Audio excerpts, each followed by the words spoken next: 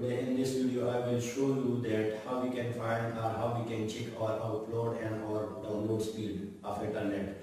So here we have a website through which we can find uh, through which we can check our upload and download speed that how much is our internet upload speed and download speed. So let's see, let's get started so let's see how we can find our upload and download speed that how much is our upload and how much is our download speed. So first I will just open my Chrome browser. I have opened my Chrome browser and now I will just type the this website through which I am just going to find what is upload and what is my download speed. So I will type speedtest.net and from here I can find my upload and my download speed.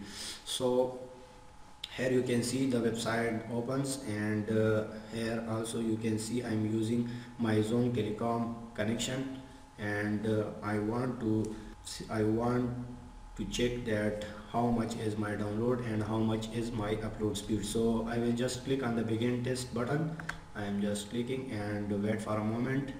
It will test my download speed first and uh, then it will test my upload speed. So let's see. Let's wait for this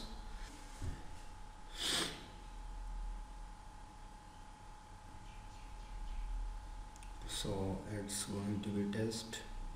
As you can see it's above 32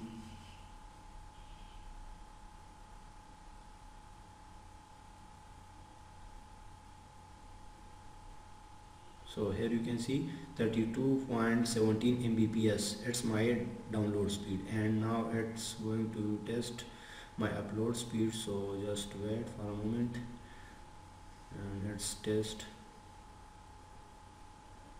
So as you can see my upload speed is 9.08 so you have see that uh, my download and my upload speed is 32.17 is my download speed and 9.08 is my upload speed. So through this website you can easily find your internet speed that how much your internet speed is. So this is the tutorial. So please like our video and subscribe our youtube channel for more videos. If you have any suggestions so leave comments below. Or if you have any problems so leave comments below.